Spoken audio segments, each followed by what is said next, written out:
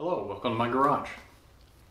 I've been watching a lot of YouTube lately, and I like to watch things done by makers. I've seen a lot of the makers uh, making a Gingery lathe, and uh, I thought that was the coolest project ever, so I think I'm going to make my own. Uh, there's a book on Amazon that you can get. I'll provide a link in the description, but it is Building Your Own Machine, Building, Build Your Own Metalworking Shop from Scrap by David Gingery and uh, essentially it walks through a series of projects. The uh, larger projects have smaller projects uh, that come along with them. The first large project is a charcoal foundry. Uh, that's for melting metal. And you'll need to melt the metal in order to cast the parts for all the other things in the book, uh, series of books. Uh, but this one is all the series put together. Um, so one of the smaller projects in the charcoal foundry section of the book start off with a sand molding table.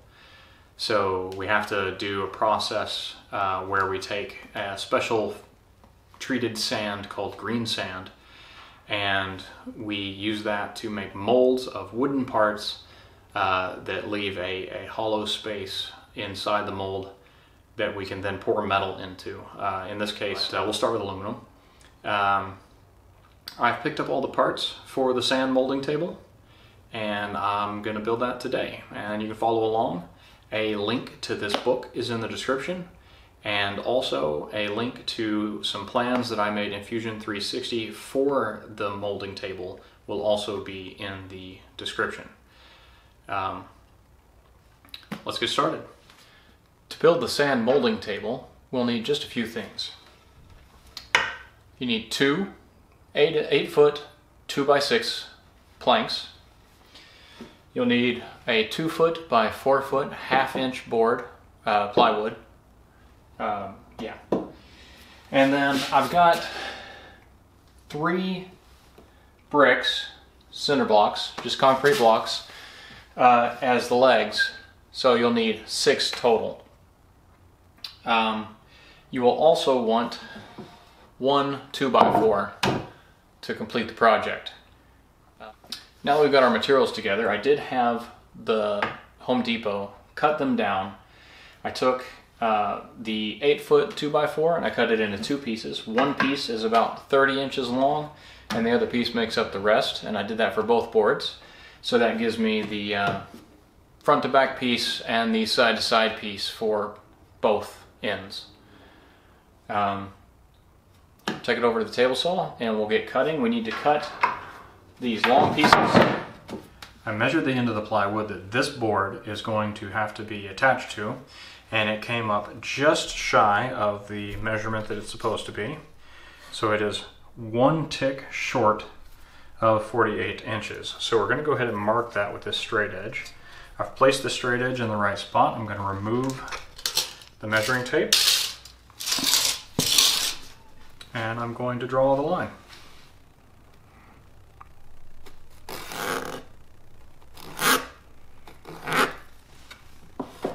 Next step is to line that up on the cross feed. Right. Before we cut the board, we need to make sure that the blade is the right height. So the way we're going to do that is the board should be roughly one and a half inches tall. I'm seeing one and a half inches, pretty much exactly. So we're gonna put the blade just over that to be safe.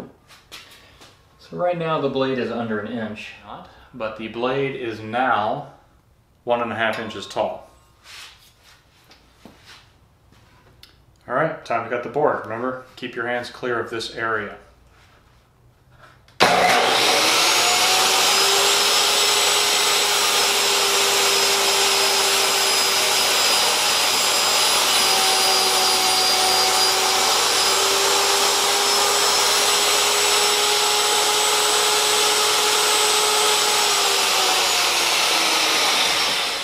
We've got the first cut, I'm going to remeasure it after it's been cut to make sure that we're close enough to the dimension that we wanted.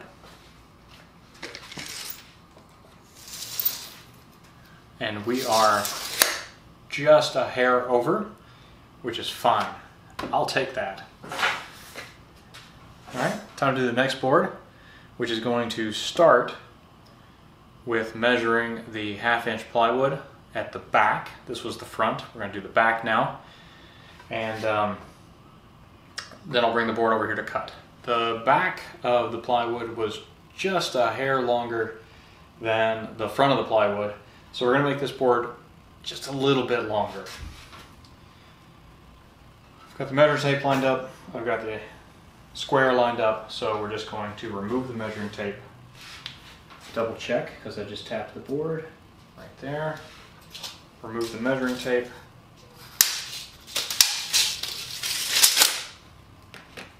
And draw the line. All right, we've got it lined up. Time to make a cut.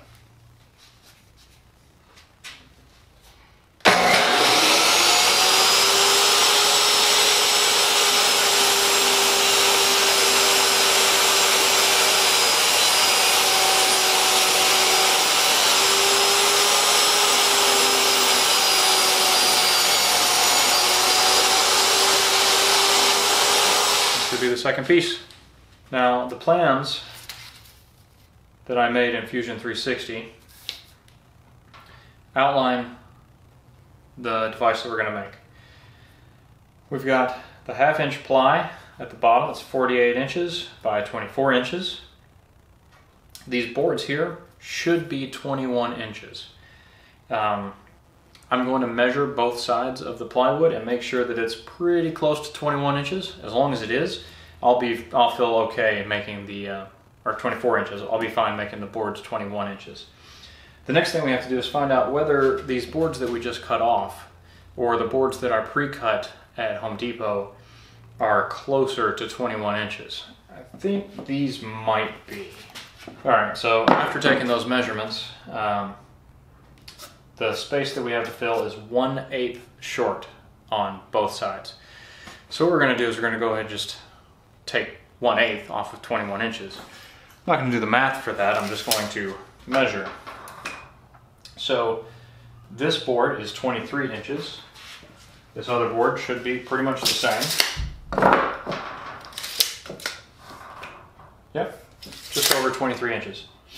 So we will follow the exact same procedure we just followed for cutting the other boards to cut these boards and then we'll be back for assembly.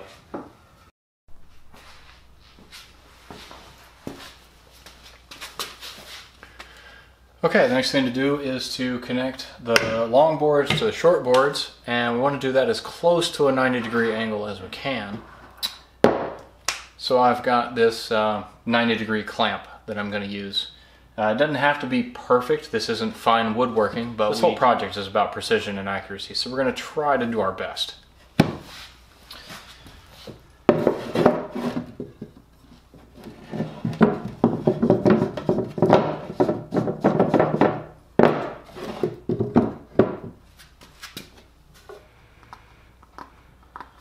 Glue before you screw.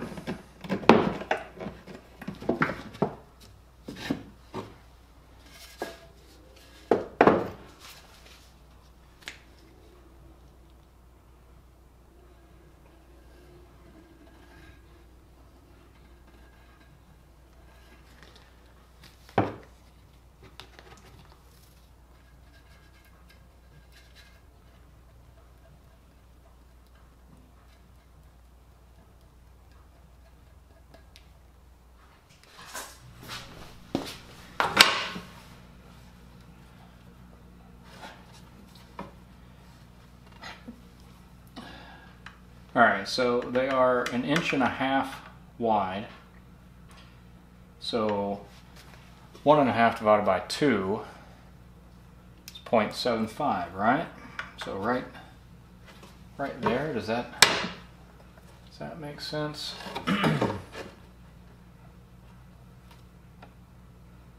half, we come over half, come over half, yeah, right there.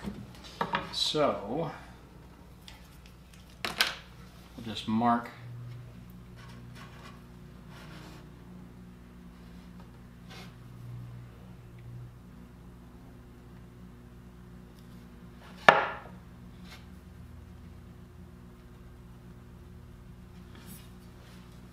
There, that's better. And then I'll, I'll draw the straight line here.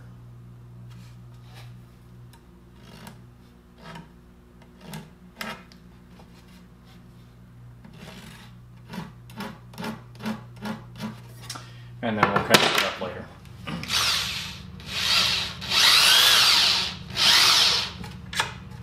All right, that's one.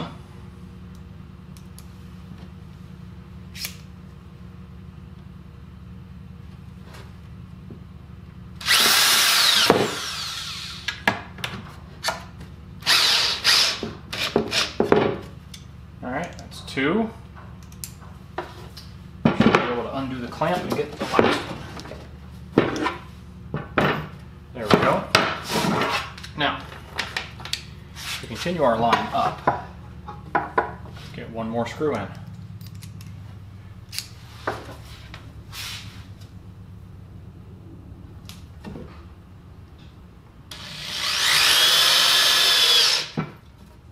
There we go.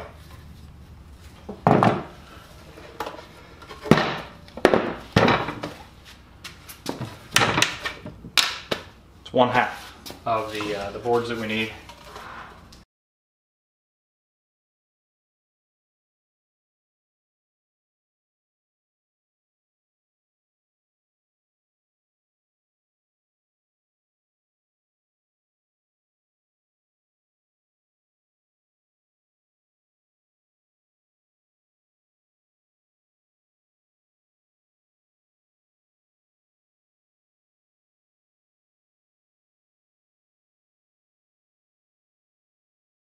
Okay, we know this one is probably the best one. So we'll put that one in first. We're gonna clamp and screw that side. And then we're gonna clamp and screw this side. Uh, we, first we gotta glue.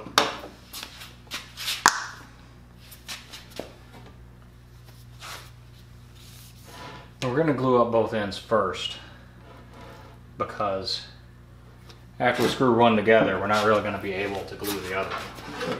Not really. We wouldn't be able to get the angle we need. All right, let's clamp this one. I want to sincerely apologize. My uh, battery died. I'm gonna have to do shorter clips in the future. Um, so what you missed. You saw me gluing and screwing one side of these. Uh, I then did the opposite corner. Then I took the two right angles that I had put together and I screwed them together. Then on the underside, I marked a line and I screwed uh, five screws along lengthwise three screws uh, depth wise and uh, I made sure that my bricks were uh, in the position that I wanted them to be in to, to give me a good, mostly good, sturdy uh, work surface. Uh, then I already bought this 200 pounds worth of play sand, which we will do later. I put the 200 pounds of sand, it's still in its bags because I have to do, I have to process the sand before I can actually put it in the table and I want to line the table so that the sand doesn't, the moisture doesn't soak into the wood. But the table seems to hold the sand just fine. Just a few minutes ago I said I didn't know exactly how I was going to waterproof the, um, the molding table. Well, I've decided. I've got my supplies laid out here. We have some silicone caulking and that is going to go around the edges of the box um, we've got fiberglass resin that we are going to have to mix up. Got a brush for brushing on the resin. And we have two sheets of fiberglass cloth. And then we have some masks because you really do need a respirator when breathing this stuff in or when working with this stuff. All right, so the first step is we'll set the resin and the fiberglass materials aside, I don't think we'll need that. We are going to caulk all of the corners so that we can get a fillet. All right. And we're just gonna, just gonna lay that in. All right, now I'm gonna put on a glove and I'm gonna run my finger across all the seams and what we're wanting is just a nice, smooth fillet shape uh, in all of the corners.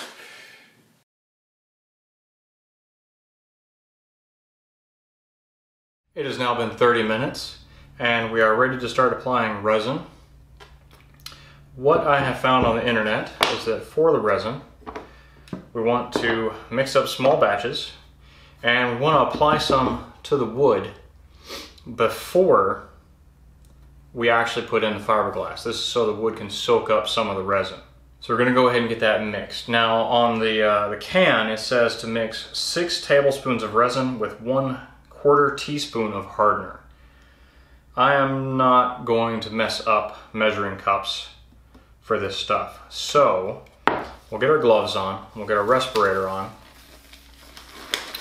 and we'll try to mix some up.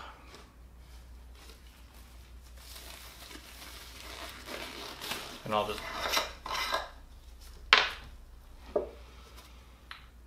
I'm going to assume that this uh, is effectively a tablespoon. So we'll do six of these. That's one, two, three, four, five, six. This stuff smells like super glue, or not, uh, like, it smells like rubber cement. All right, so likewise, we're gonna assume that that is close to a quarter. We'll just dump that in there. We'll get it mixed up.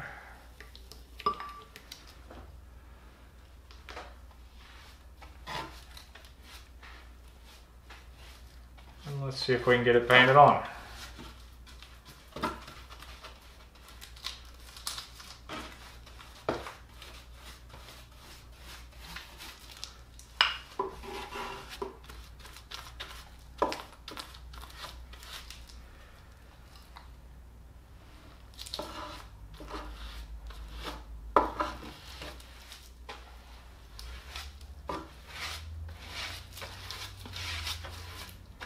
I don't know if this is how you're supposed to do it, but it's what I'm going to do.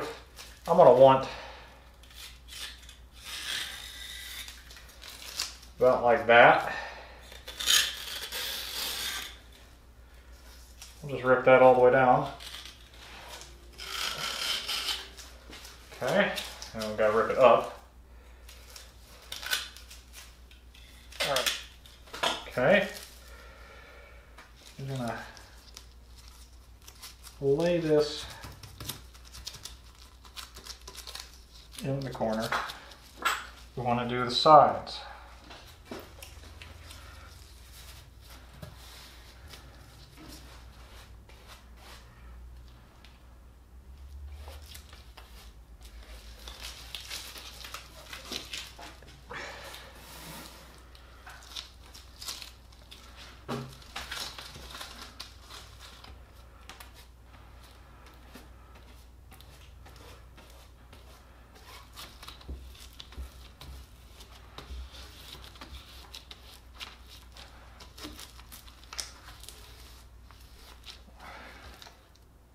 We've finished fiberglassing the sand molding table. We've got to wait for the fiberglass to dry, uh, so we probably won't touch it for a day. so just leave it sitting there, it'll dry, and then we can trim off slash sand down uh, these rough edges, and uh, we'll call that good. Forgot a part. Fantastic.